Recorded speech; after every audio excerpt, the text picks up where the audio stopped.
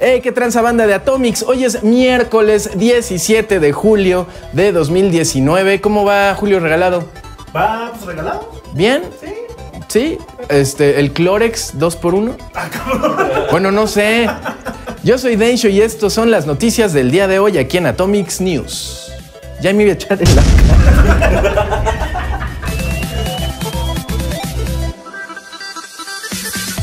Y empezamos con Antonio Banderas, ¿sí o no, mi Alex? Que está aquí atrás de la cámara y el Isra en, el audio, muchas gracias. Em, pues nuevo Switch, oh my god, un nuevo Switch, pero lo acabo de comprar en Amazon Prime, qué pedo, no me hagas eso, Nintendo. No, no está tan mal, ¿eh? No está tan mal. Ya viene el 20 de septiembre el, el Nintendo Switch Lite eh, y esta nueva versión que acaban de anunciar en la página de Japón y que de repente pues ya anunciaron por todas partes, se trata del mismo modelo de Switch que salió originalmente en el 2017, pero tiene una mejora interna, le dura más la batería y no sé qué le movieron, pero ahora ya te puede durar entre 4.5 y 9 horas de uso continuo, ¿no? Entonces pues, se dice que Breath of the Wild, si lo juegas parejo, eh, de corrido todo, se consume en 5 horas un 100% de batería. Entonces, este, pues ahorita con este aumento de batería, pues ya van a tener más portabilidad con el Switch viejo, lo diría, Switch normal. Este no es el Switch más grande, más chico, XL, Pro, no, no, no, es el mismo Switch de siempre, pero le dura un poquito más la batería y aquí va a llegar en agosto. Más noticias en atomics.bg para que sepan el día exacto. Ah, dice Alex que para reconocerlo ah, va a traer una caja diferente. ¿Qué tan diferente? Pues trae más rojito. trae más rojito. Y para complementar la llegada de este Switch con más duración en la batería, también se anunciaron un- eh, dos pares de nuevos colores de Joy-Con, que pues bueno, si te compras los dos los vas a poder combinar a tu gusto, con los colores que ya habían salido y los de edición especial. Y ya ven cómo le encanta a Nintendo eh, consentirlos, ¿verdad? Bueno, sale este, el primer par, uno de, los, de estos dos pares, eh, combina azul con amarillo neón. El otro par combina morado neón con naranja neón. Entonces están espectaculares, parecen coches de, de pericuapa, ¿no? Está bien bonito. Eh, cada uno de los pares va a costar oh, más o menos 80 dólares y van a salir en octubre. Entonces agárrense los Joy-Cons que se va a poner bueno. Eso no tiene sentido, pero ustedes agárrenlos.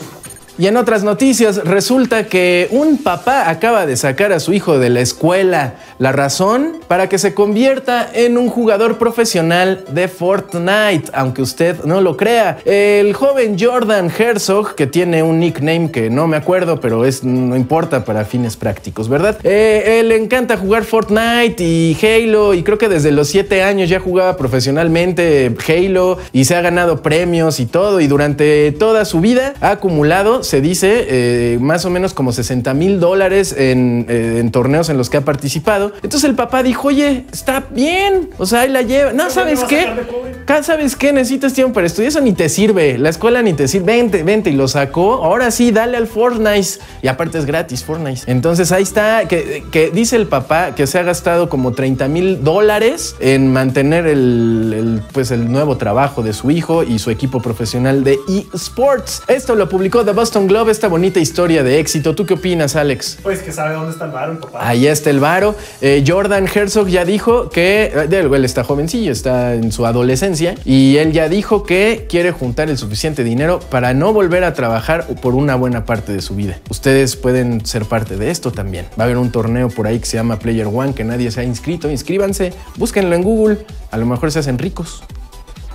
Y pasando a las noticias cinematográficas, resulta que Detective Pikachu se acaba de convertir en la película basada en un videojuego más exitosa de la historia, por lo menos en nivel de taquilla. Pues acaba de rebasar de varo de ingresos a Warcraft, quien tenía el récord del primer lugar. Ya no lo tiene, ahora lo tiene Detective Pikachu. ¿Con cuánto? Más o menos como medio millar de millón de dólares, es decir, como 439 mil... No, soy bien malo para esto, ayúdame. 439 439 millones de dólares, más más o menos. O sea, ya está a nada de pegarle a los 500 millones de dólares. No creo que lo haga porque el último empujoncito, que fue más o menos de 70 mil, de 7 mil dólares de ingresos en taquilla, los obtuvo en países como Nueva Zelanda, Noruega, Colombia y Eslovenia, que son pues eh, corridas comerciales pequeñitas. Y el último fin de semana registró este empujón que lo puso en primer lugar en toda la historia. La mejor, bueno, no la mejor, la película que más dinero ha recaudado, ¿no? Eh, pues felicidades a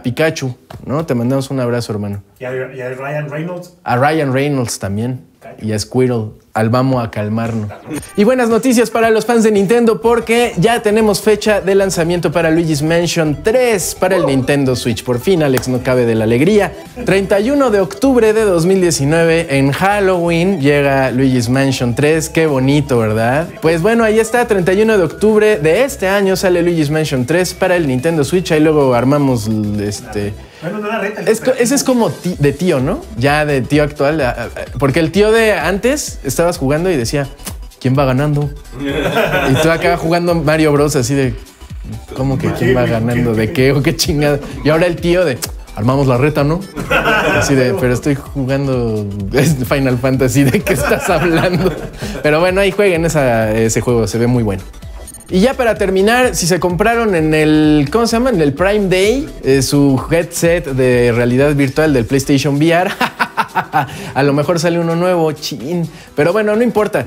Eh, resulta que PlayStation acaba de patentar, o se encontraron, ya saben, una patente, con un nuevo headset de realidad virtual. No sabemos si va a salir o no, no sabemos si se va a comercializar o no, pero los datos de la patente incluyen algunas mejoras respecto a la versión actual de PlayStation VR. Por ejemplo, se podría jugar sin cables. Imagínense jugar sin cables. Qué bueno, ya no te andas enredando, ¿no? Ahí haciendo así, ay, cabrón. No, ya eso ya se podría acabar, no sabemos. Eh, también va a tener, obviamente, gráficos, eh, la posibilidad de desplegar gráficos con mayor resolución. Se podría ampliar, am- ampliar, eh, ándale, ampliar el campo de visión a 220 grados. Y además, algo que me pareció muy interesante es la detección de movimiento ocular. Es decir, uno, el aparato, o sea, tú estás con acá, entonces si volteas a ver algo para allá, Sin mover de- la cabeza. sin mover la cabeza o moviendo la cabeza, no importa, o sea, detecta hacia dónde estás viendo y en ese punto donde tú estás viendo mejoran los gráficos y en los otros, el alrededor donde no estás viendo, ya no le echa tantas ganas al procesamiento gráfico precisamente para poder tener un mejor desempeño. Entonces, eso está bien padre, esto solo está en, la- en patente, en papel, no sabemos qué va a pasar, pero estaría bien padre.